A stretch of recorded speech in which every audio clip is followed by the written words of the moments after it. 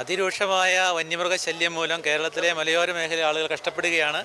ഇടുക്കിയിലെ ആളുകൾ വളരെയധികം ദുരിതം അനുഭവിക്കുകയാണ് അത് പൊതുജന സമൂഹത്തിന്റെയും സർക്കാരിന്റെ മുന്നിൽ എത്തിക്കാൻ വേണ്ടിയാണ് ഞങ്ങൾ ഈ തെരുവിൽ ഇറങ്ങിയിരിക്കുന്നത്. സർക്കാരിന്റെ ഭാഗത്ത് നിന്ന് ഇപ്പോൾ ഒരു ഫലപ്രദമായ ഇടപെടൽ ഉണ്ടാകുന്നില്ല എന്ന് തോന്നുന്നുണ്ടോ? സർക്കാരിന്റെ ഭാഗത്ത് നിന്ന് ഫലപ്രദമായ ഇടപെടൽ ഉണ്ടാകണം. അതാണ് ഞങ്ങൾ ആവശ്യപ്പെടുന്നത്. കാരണം ഇവിടെ ഈ വന്യമൃഗങ്ങളെ വനത്തിൽ തന്നെ നിയന്ത്രി നിയന്ത്രിച്ച് നിർത്താനുള്ള ഇച്ഛാശക്തി സംസ്ഥാന സർക്കാരും കേന്ദ്ര സർക്കാരും കാണിക്കണം.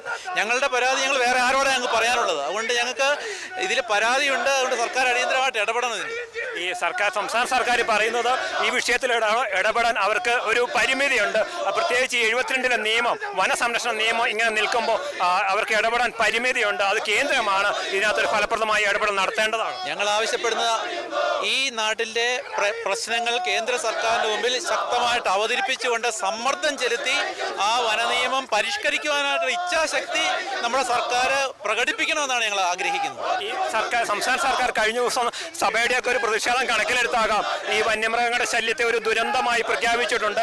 മുഖ്യമന്ത്രിയുടെ നേതൃത്വത്തിൽ ഒരു സമിതിയൊക്കെ രൂപീകരിച്ചു. അതൊക്കെ ഒരു ഫലപ്രദമാകുമെന്ന് തോന്നുന്നുണ്ടോ? ഞങ്ങൾ ഞങ്ങൾക്ക് സർക്കാർ വിശ്വാസമുണ്ട്. പക്ഷേ ഇതൊരു സഭയുടെ മാത്രം പ്രശ്നമല്ല. ഈ നാട് ജീവിക്കുന്ന എല്ലാവിധ ആളുകളുടെ പ്രശ്നമാണ്. അതുകൊണ്ട് എല്ലാ ആൾക്കാരും ഈ രംഗത്ത് സമ്മർദ്ദം ചെലുത്തണമെന്നാണ് എനിക്ക് പറയാനായിട്ടുള്ളത്. സർക്കാരിനെ സംബന്ധിച്ചുള്ള ഒരു പ്രാഥമിക ചുമതലയാണ് മനുഷ്യന്റെ ജീവനും സ്വത്തിനും സംരക്ഷണം കൊടുക്കുക എന്നുള്ളത്. പക്ഷേ ഇപ്പോൾ ആ കാര്യത്തിൽ സംസ്ഥാന സർക്കാർ പരാജയപ്പെടുന്നു. അങ്ങനെ പറയാനായിട്ട് ഞാൻ ആഗ്രഹിക്കുന്നില്ല. സർക്കാരിന്റെ ജന തിരഞ്ഞെടുക്കപ്പെട്ട സർക്കാരിന്റെ ഉത്തരവാദിത്വമാണ് ഈ ജനങ്ങളുടെ ജീവനും സ്വത്തിനും സംരക്ഷണം കൊടുക്കേണ്ടത്. ജനങ്ങളുടെ ജീവനും വന്യമൃഗങ്ങൾ ഭീഷണിയാകുമ്പോൾ ആ വന്യമൃഗങ്ങളുടെ എണ്ണം നിയന്ത്രിക്കുവാനും വനത്തിൽ തന്നെ അവയെ നിയന്ത്രിച്ചു നിർത്തുവാനും സർക്കാർ തയ്യാറാകണം.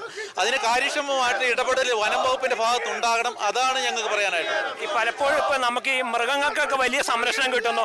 മൃഗങ്ങൾക്കെതിരെ നമ്മൾ മനുഷ്യരെന്തെങ്കിലും നട ചെയ്തിട്ടുണ്ടെങ്കിൽ അവർക്ക് ജാമ്യമില്ലാത്ത വകുപ്പുകളൊക്കെ ചുമത്തി കേസെടുക്കുന്നു. പക്ഷെ മനുഷ്യർക്ക് ഒരു ഒരു ഒരു കാര്യത്തിനകത്ത് വേണ്ട ഇട- ഇടപെടൽ ഉണ്ടാകുന്നില്ല. അത് വളരെ വേദനാജനകമായ കാര്യമാണ്.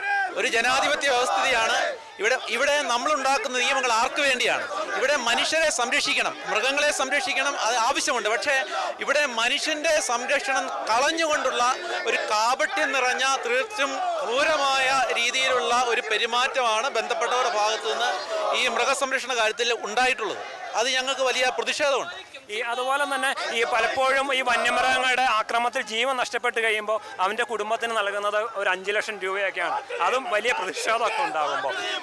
അതിനൊക്കെ ഒരു മാറ്റം വരേണ്ടതല്ലേ? അതുപോലെ തന്നെ പരിക്ക് പറ്റുന്നവർക്കൊക്കെ തുച്ഛമായ പൈസയാണ് കിട്ടുന്നത്. അതിനൊക്കെ ഒരു മാറ്റം. പല പലപ്പോഴും നമുക്കറിയാം ഇപ്പോൾ ഒരുപാട് പേർക്ക് അതിന്റെ കുടുംബങ്ങൾക്ക് പണം കിട്ടാനും ഉണ്ട് നഷ്ടപരിഹാരം. നമ്മൾ ഈ കൊല്ലപ്പെട്ട ആളുകളെ കണക്കിലെടുക്കുകയാണെങ്കിൽ അല്ലെങ്കിൽ പരിക്കേറ്റ ആളുകളെ കണക്കിലെടുക്കുകയാണെങ്കിൽ അവർ വലിയൊരു വിഭാഗവും അവരുടെ കുടുംബത്തിന്റെ അത്താണിയായിരുന്നു. ആ കുടുംബത്തിന്റെ അത്താണിയായിട്ടുള്ള ആളുകളുടെ മരണം മൂലം അഞ്ച് ലക്ഷമോ പത്ത് ലക്ഷമോ കൊടുത്ത് അത് പരിഹരിക്കാനായിട്ട് സാധിക്കുകയില്ല. സാമ്പത്തികമായിട്ട് പരിഹരിക്കാനായിട്ട് സാധിക്കുകയില്ല. അവർക്ക് കൊടുക്കേണ്ട ഒരു മിനിമം ഒരു അമ്പത് ലക്ഷം രൂപയെങ്കിലും കൊടുക്കാം. രണ്ടാമത് നഷ്ടപ്പെട്ടു പോയ ആ ജീവനെ തിരിച്ചെടുക്കാൻ നമുക്ക് സാധിക്കുമോ ഇവിടെ നമ്മൾ വേണ്ട രീതിയിൽ പ്രവർത്തിക്കാതെ ഈ മനുഷ്യജീവൻ നഷ്ടപ്പെടുമ്പോൾ അതിന്റെ ഉത്തരവാദിത്തത്തിൽ നിന്ന് ഒഴിഞ്ഞു മാറുവാനായിട്ട് ബന്ധപ്പെട്ടവർക്ക് സാധിക്കുകയില്ല. നമ്മുടെ ഒരു പ്രതിഷേധം ഫലം കാണാൻ കഴിയുമെന്ന് തോന്നുന്നുണ്ടോ? തീർച്ചയായിട്ടും.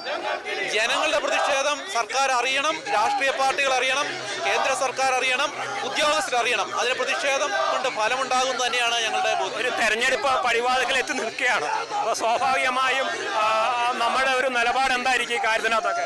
ഈ ഈ കാര്യവും തെരഞ്ഞെടുപ്പായിട്ട് നിങ്ങൾ കൂട്ടിക്കുഴക്കരുത്. കാരണം ഇത് ജനങ്ങളുടെ അടിസ്ഥാന പ്രശ്നമാണ്. അത് ജനങ്ങളാണ് നിശ്ചയിക്കേണ്ടത് അവരെങ്ങനെ രീതിയിൽ വോട്ട് ചെയ്യണം എന്താണ് അവരുടെ നിലപാടെന്ന്. അതുമായിട്ട് ബന്ധപ്പെട്ട യാതൊരു നിർദ്ദേശവും ഞങ്ങളുടെ ഭാഗത്തു നിന്നില്ല നമുക്ക് നമ്മുടെ ഒരു പ്രതിഷേധം മാത്രമേ ഉള്ളൂ. നമുക്ക് ആളുകൾക്ക് ജീവൻ സംരക്ഷിക്കണം കൃഷി സംരക്ഷിക്കപ്പെടണം എന്ന ഒറ്റ നിലപാട് മാത്രമേ ഉള്ളൂ. നമുക്ക് അതല്ലാതെ യാതൊരു രാഷ്ട്രീയ നിലപാട് ഈ കാര്യത്തിനകത്ത് തീർച്ചയായിട്ടും. ഞങ്ങളുടെ നിലപാടെന്ന് പറയുന്നത് ഈ മലയോര മേഖലകൾ ഇടുക്കിയിലാണെങ്കിലും വയനാട്ടിലാണെങ്കിലും കണ്ണൂരാണെങ്കിലും പാലക്കാടാണെങ്കിലും പത്തനംതിട്ടയാണെങ്കിലും കേരളത്തിലുള്ള എല്ലാ ജനങ്ങളുടെയും പ്രത്യേകിച്ച് ഇപ്രകാരം ഇപ്രകാരമുള്ള പ്രതിസന്ധിയിലായിട്ടുള്ള ജനങ്ങൾ സംരക്ഷിക്കപ്പെടണം. അതാണ് ഞങ്ങളുടെ ആവശ്യം. അത് മാത്രമാണ് ഞങ്ങളുടെ ആവശ്യം.